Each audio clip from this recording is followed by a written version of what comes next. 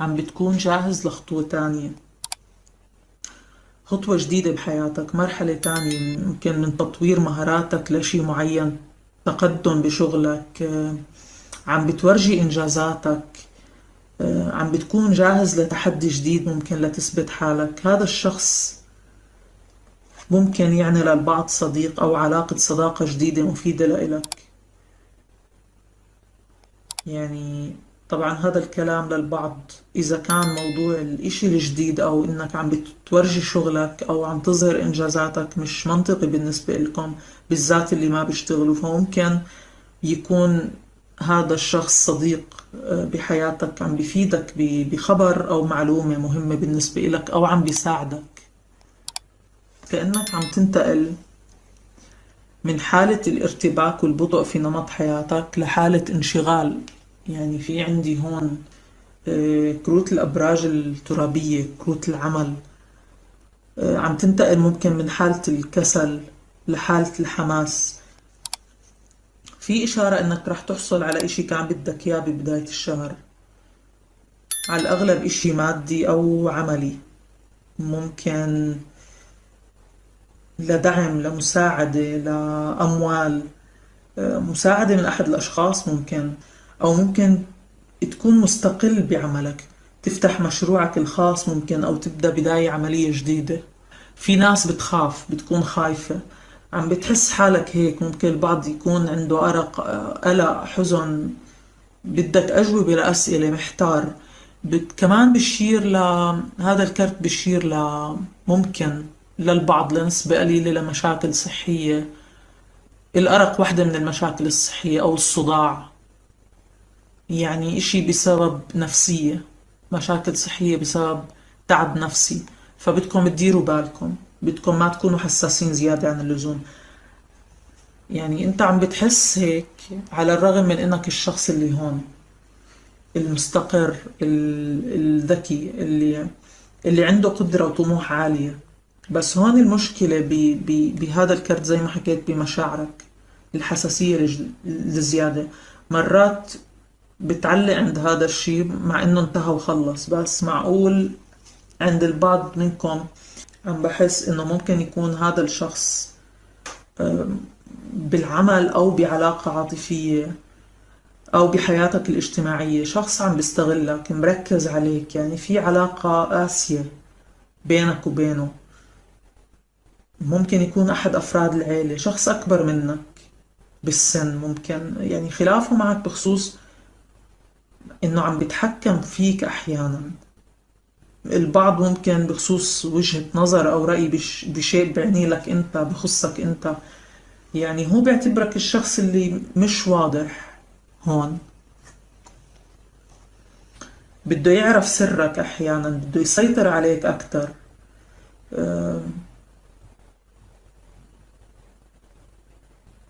بس أنت بدك تمشي ورا حدسك.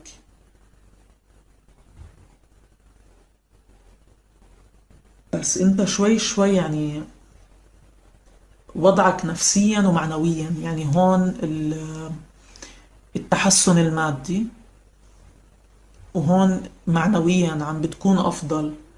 عم بيكون عندك ذكاء عم يعني عم تملك العلاقات التقدير الذكاء المادة.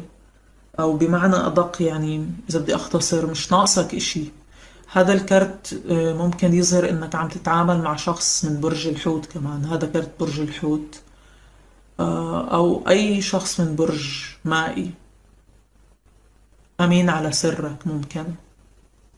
ما بعرف قديش منطقي هذا الكلام بالنسبة للبعض. هذا كرت الأبراج الهوائية عندي هون. إذا عم تتعامل مع جوزاء أو آه، دلو أو ميزان.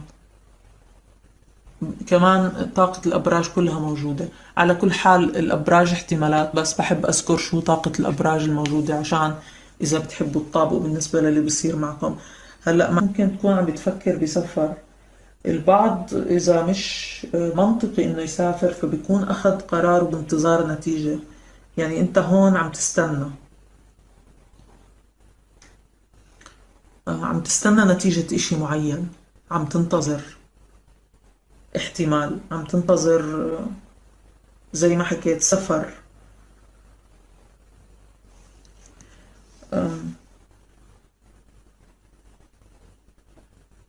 احتمال كمان يكون تفسيره إنك عم بتقوي حالك بالأمور الروحانية.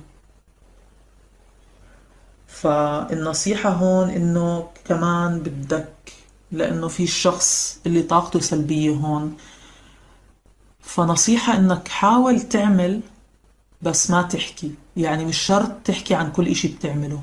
حاول تكون كتوم. هذا الشخص اللي هون بالعادة كتوم. الهاي بريست شخص كتوم بيحفظ الأسرار وبيعرف الأسرار.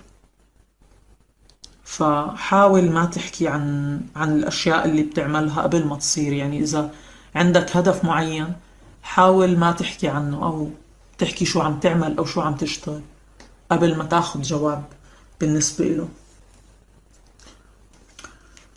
فخليني أنتقل للقراءة العاطفية بالنسبة لبرج الجدي. على كل بالنسبة للشخص اللي عم تتعامل معه هون بي عم بيشير إنه عايش بحاله. آه، عنده جو الخاص عنده حياته الخاصة عم بيشوف حياته. زي ما هو بده. مش عم بيعيرك اهتمام. عم بتحسه غامض أحيانا. آه، ممكن تكونوا بعاد عن بعض بالمسافة. ممكن ببلدين مختلفين. ممكن منفصلين وبنفس البلد. ممكن منفصلين وبنفس البيت. بس آه، في بعد بالتواصل. حتى للمتزوجين زي ما حكيت ممكن أحيانا انفصال بس بنفس البيت يعني أحيانا ال- الأمور ممكن ترجع لطبيعتها بس زي ما بشير هذا الكرت عندي هون في شيء محير مخبى عم بتحاول تكتشف شو بي بي بعقل هذا الشخص بس بتحس إنه في غموض في إشي ما عم بحكي لك إياه في إشي ما عم تعرفه مش عم بيكون واضح معك. معقول البعض يفكر بخيانة عند هذا الشخص؟ معقول في يكون شخص تاني أو أشخاص؟ لأنه هون يعني مش ثابت هذا الشخص. هون كمان مش ثابت عم بتطلع على خيارات تانية بحياته. يعني ما في إشي واحد ما عم بتشير كروته ما عم بتشير لإلك أنت تحديدا. عم بتشير لأشخاص ب- بحياته أشخاص بعاطفته أشخاص ب- بعقله أو إذا مش منطقي هذا الإشي بالنسبة لل- للبعض فممكن تكون أنت زي ما حكيت أو بس التركيز أبدا هون مش عليك. لو كنت عم بتعيش معه لو كان في تواصل بينكم هذا الشخص مش واضح أبدا معك. هلأ حسب كروتك هون كمان. إذا عم بدي أحكي عن موضوع أشخاص تانيين. عم بتحس حالك مخدوع أو حاسس إنه هذا الشخص استغلك؟ أو ممكن عم بتحس إنك ضيعت وقت بالعلاقة؟ بتصور في منكم كتير تعبان نفسيا وقلقان و يعني متوتر أو يعني ظهر بالقراءة العامة وهلأ ظهر. فزي ما حكيت السيوف بتشير للأفكار والقلق وكمان هي طاقة الأبراج الهوائية الجوزاء الميزان والدلي وكأنه هذا ال ال الشخص تاركك بنص الطريق. هون. العلاقة بتحسها انتهت وما انتهت برغم سلبية أفكارك تجاهه. زي ما بالكرت هاد. بس أحيانا ممكن عم تتذكر وتتخيل قديش كان ممكن تكون العلاقة حلوة لو كملت. بس أنت حاليا هذا الشخص اللي هون بهذا الكرت. أظن هذا الكرت طلع كمان بالقراءة العاطفية لبرج القوس. فما بعرف إذا كنت عم تتعامل مع برج القوس لأنه هذا الكرت بيشير للأبراج النارية كمان. بس بكل الأحوال هذا أنت بالقراءة هون. يعني أنت مش حتخرب حياتك بدونه. ما عدت محتاجه أو ما عدت عاطفي أو قلقان أو حزين زي الشخص. لو كان هذا الإشي موجود بس بصورة أخف لأنك عم ترجع تستعيد ثقتك بحالك. آه، عم ترجع ملك نفسك. وكأنك مش محتاجه بحياتك. عم تستوعب وتوصل لنتيجة تستنتج إنه أنت أفضل بدونه ممكن. واحتمال البعض علاقته ببرج ناري علاقة جديدة عنده ببرج ناري أسد قوس أو حمل تكون خلته بالطريقة هاي يحس بالطريقة هاي. احتمال. فما بعرف قديش هذا الحكي مطابق بالنسبة لكم إذا بدي آجي لطاقة الأبراج الموجودة هذا كرت برج الحوت. والسرطان والعقرب ممكن بشير لحدا من الأبراج المائية أبراج نارية وهون الأبراج الهوائية. احتمال تكون عم تتعامل مع بر... مع برج ترابي زيك. على كل زي ما حكيت احتمالية الأبراج مش يعني متفاوتة بس بحب أذكر شو طاقة الأبراج الموجودة. هلأ بالنسبة للكروت اللي هون عندك يعني عندك حب بالنسبة لهذا الشخص. في شخص صادق في شخص بحب وفي شخص بلف وبدور أو يعني في بحياته حدا تاني رايح لإشي تاني. يعني الومن كارد هون مش عم بشير لسيدة بقدر ما بشير يعني هون بالنسبة لهاي الكروت بيعطيك صفات السيدة اللي عم بتروح. آه، بتشوف أكتر من خيار بتشوف حياتها مش اللعوب زي ما بيحكوا يعني اللي مش ثابت على إشي الشخص اللي مش ثابت على إشي هذا الكرت اللي بشير له.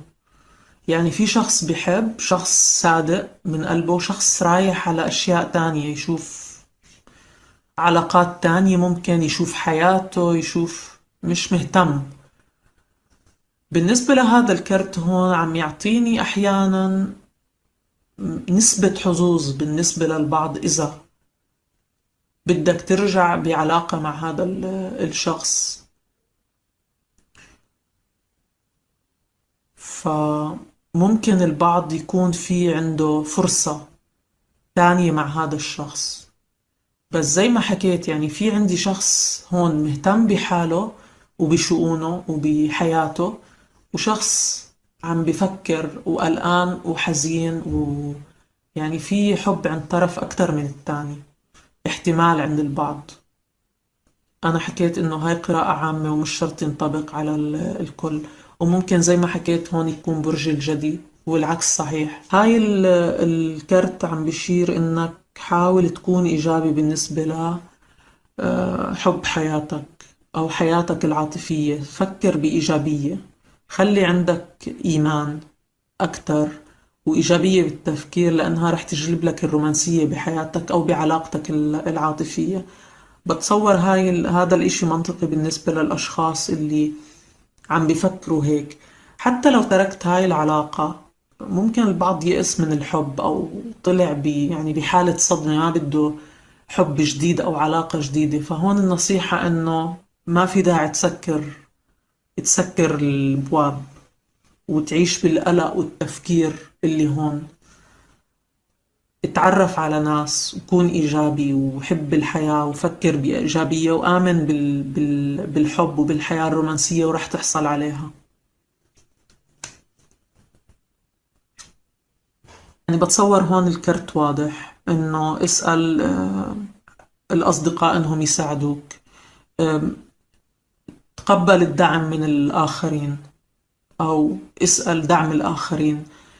إذا بتحس حالك وحيد وعازل حالك طبعا عن الناس حاول تكون بين مجموعات حاول تنشط حياتك الاجتماعية تطلع مع أصحابك تطلع من هذا الجو اللي هون. لأنه طول ما أنت بهذا الجو حتى لو حاولت تكون إيجابي بس وجودك بين أشخاص بيحبوك بين أصدقائك رح يساعدك أكتر.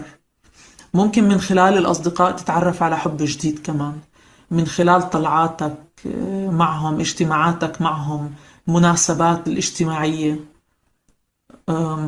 ممكن هذا الإشي يقدم لك دعم. أكيد رح يقدم لك الدعم.